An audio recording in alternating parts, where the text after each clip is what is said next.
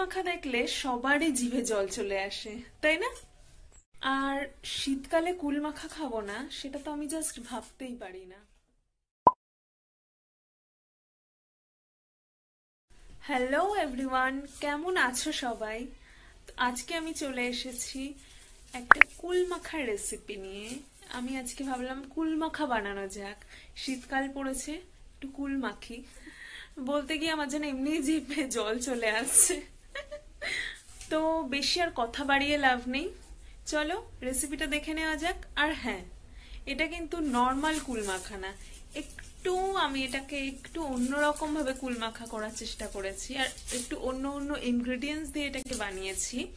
যার জন্য আমি ভাবলাম যে শেয়ার করি। নর্মাল হলে তো ভাবতাম যে এটা সবাই করে।